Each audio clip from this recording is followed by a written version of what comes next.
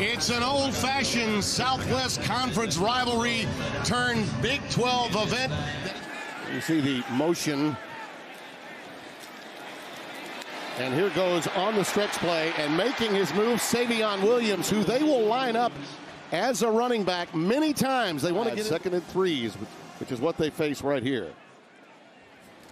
Again, they go Wildcat. Savion, look at that nimble footing. Spin, baby, spin, and take it in.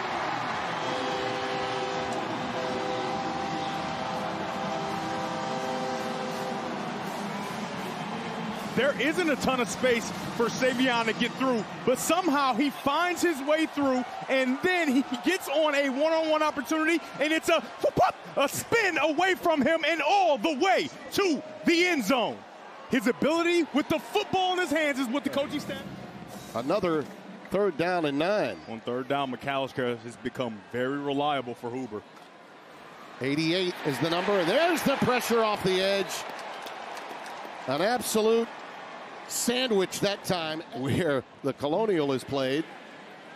We do have mulligans in football, and this one's even worse. Off the side of his foot. Uh, I mean, I, I think You're I said right. it. I think you did. Nothing good happens yeah. on a re-kick, and that is even worse than the kick before. I was about- Looks like it's zero coverage. And it's a quick out.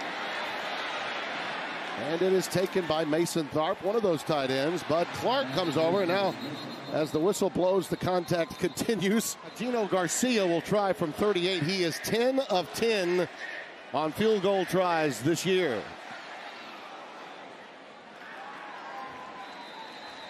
Make it 11 of 11 between now and the end of the Yankees Dodgers series. Savion Williams wide open down the seam. He's got one on the ground. An angle, but no, he's got one in the air.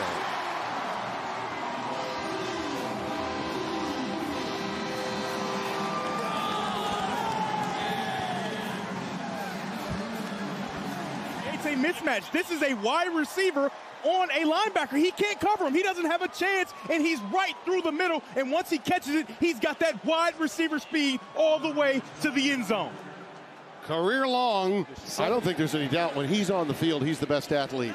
Cam Cook is coming to the game now in the backfield. And pressure coming. Ball is on the ground.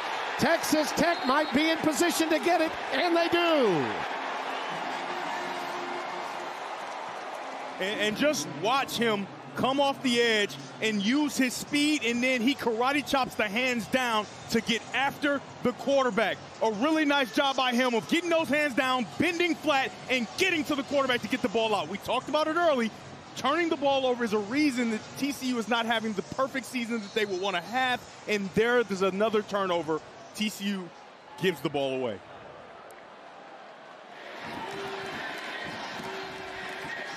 Burkhardt. Oh, it's a fake. There he goes for the corner. Touchdown, Reese Burkhardt. That's why they chose to take the three. A little something in Joey McGuire's hip pocket. Wow. How do you do? Oh, yeah. I was wondering when it was coming. I mean, if that's not a how do you do moment, I don't know what is.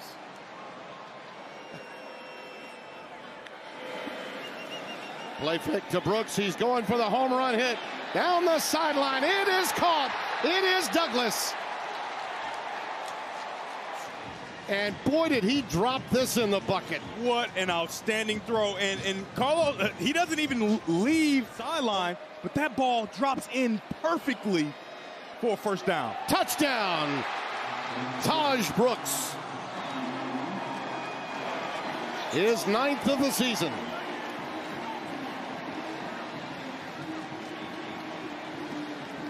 You got the Red Raiders. Well, this thing parts like the Red Sea, and Tahj Brooks just essentially almost walks right into the end zone. There's nobody there. Touchdown, Red Savion Williams time. Battle has joined him there, number 17. Savion takes it out of the Wildcat. They were ready that time. And Texas Tech's D, Tim DeRuyter, will give them a salute when they get to the sidelines after oh. that the way I misspoke earlier, he's not from Shreveport. He's out of Missouri City. That pass was tipped and intercepted. It happened again. Josh Hoover had it happen again. Tipped at the line of scrimmage and picked off. C.J. Baskerville has the interception. It was Rodriguez, number 10, that deflected it. Box to the left of your screen and just skies up with a great vertical and then catches it all hands. All hands. He's playing defensive back and he makes this play. Outstanding job by Baskerville. Well, Josh Kelly was open, number three in white, but uh, number two's noggin got in the way. Douglas. Boy, he is hammered. Look at those guys in purple, all arriving in a bad humor. This TCUD has really answered the bell. Hey, give it everything you got, and the rest of your teammates will help. Perfectly displayed right there. Burkhardt from 50 yards. He's got the big leg, but this time it's wide and no good. And Morton was hurt, apparently, was injured at halftime. Left shoulder energy, a left shoulder injury. We were just told that, and Will Hammond is in at quarterback. Third down and three. You know they got to ride Brooks, right? They got to fake it to him, and he's going to carry it, and he does so for the first down. That's got to be a confidence boost for the young man out to the 41. Yeah, you're right. Again, he'll lean on Brooks this half, no doubt about it. There's a nice looking pattern, and how about that maneuver by Caleb Douglas? Now you can get to what we love, the RPO. Safeties come down, and you got a ball, even though behind, a catchable ball for Caleb Douglas, and then an outstanding move. Travis Broughton on that play. Well, the yards after the catch. So first and 10, and now they go with a fade pattern into the corner. It's caught. It's touchdown. Coy Eakin. Wow. Just like that.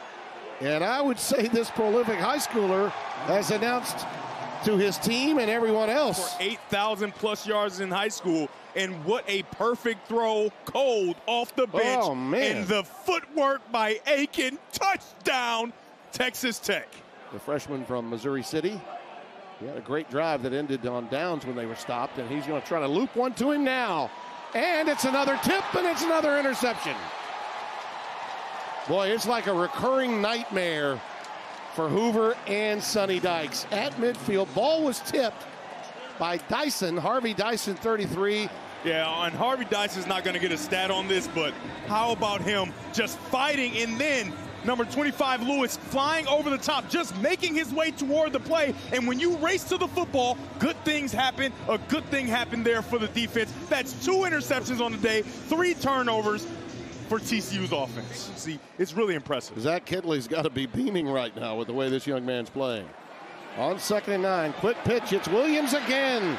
And he's the perfect complement when you think about it. Oh, and look at him get up and show you. First down. Let's keep on moving. Wait a minute. You got one on one at the bottom of your screen here. And he keeps it. It's a touchdown. How about this? The freshman. And I do mean freshman. Not many reps before having to come in to open this second half. Two brilliant drives, getting it done with a touchdown to go with it. Yeah, watch him pull this ball and then get there and then underneath for a touchdown. I mean, so impressive what he's been able to do. Smaller Lux. They chuck it down to JP. There's Patterson with a great move. Oh, he's making Bucky proud. And headed right towards where Bucky and his family sits. Payne is in the backfield. And he's got it. Touchdown. Jeremy Payne. That last lunge got him in there. His second this season. And that the ruling on the field of a touchdown is under further review. All right, so everything's up right there. Nope, he's down. He's down before it gets to the goal line. Yeah. But the one thing that you have to remember, if there's not a straight down the line shot, I don't think they can reverse this, but they will be able to piece different film together. Together, yeah, it looks like he's clearly short. He's clear. After further review, the ruling on the field of a touchdown stands. Wow. Have is the ability to hit the hole like Yep. like the old school, like you really want them to. They don't always dance; they just dance when they have to. Oh, nice look at that pass. I mean, a laser throw. Caught and taken down inside the 15 yard line. He's and on the sideline, just moving out of the way, not getting run over by a talented running back like Brooks. 24 yards for Garcia. And Gino remains perfect. Out of the shotgun on second down. Hoover with plenty of time lets it fly. It is caught. It's inside the 15. It is Jack Bech. Go to then Bech. Safety comes out of the middle of the field, and Bech just sees green grass, and he turns on the Jets to run that football down in a perfect throw by quarterback Josh Hoover. 52 yards on that connection. Sonny told us it's what he does after the catch, which has separated him from the pack. And that's This- Rodriguez, a good tackler that missed him. Yes, it was. Hoover's pass, back shoulder. It's caught. It is touchdown, and it is Jack Bech. His eighth of the year. A little bit ago, he would get the opportunity, but they wait here, give him the one-on-one, and it's just a fade route and a perfectly thrown back shoulder out to that third lane, away from the defender. Game-winning drive to beat Stanford, 34-27. The question is, can he do it again? Second and five. Pressure up the gut. Looking for and finding a pair of eights. It's McAlister picking them up, putting them down. Touchdown, TCU.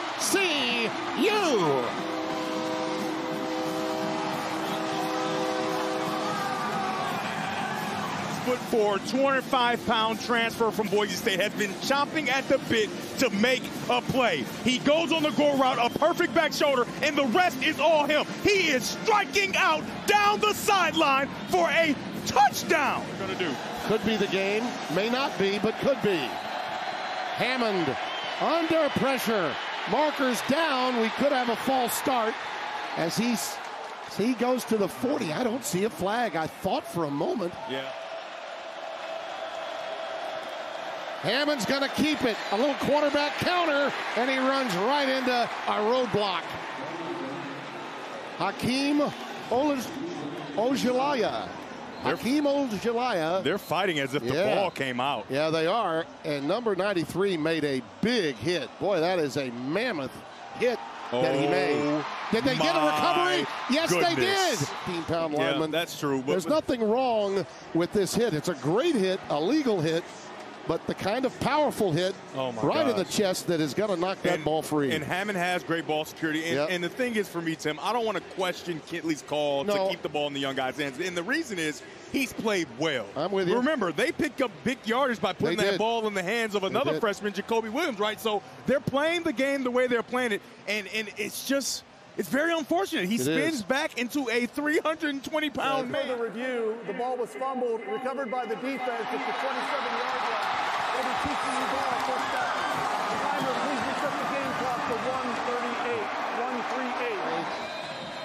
We'll be taking you directly to our World Series pregame. Through a commercial after this play, they're going to throw a little uh, soccer play at us, and it's going to end right here.